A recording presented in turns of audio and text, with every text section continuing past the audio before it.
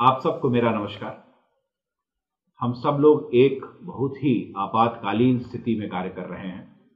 Covid 19 का जो संक्रमण है, उसको कैसे रोका जाए, इस पर हर स्तर पर कार्रवाई की जा रही है और सरकार पूरी तरीके से प्रतिबद्ध है कि हम इसको नियंत्रित कर सके और अंततः उन्मूलित करें।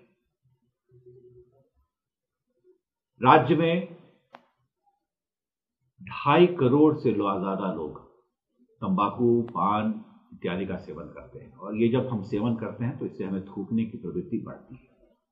और सार्वजनिक स्थल में थूकने से संक्रमण के जो चांसेस हैं, वो बहुत ज़्यादा बढ़ जाते हैं।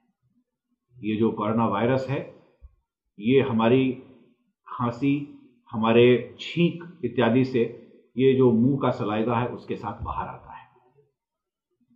और किसी को भी संक्रमित कर सकता है। इसलिए बहुत आवश्यक है कि हम सार्वजनिक स्थलों पर न थूकें।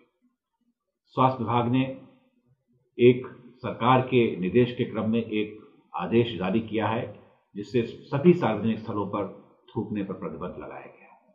थूकना वैसे भी अच्छी आदत नहीं है। एक बेहतर समाज बनाए, हम सार्वजनिक स्थलों पर न थूके और अपने आप को और अपने परिवार को संक्रमण से बचाएँ, ये मेरी आपसे करबद्ध प्रार्थना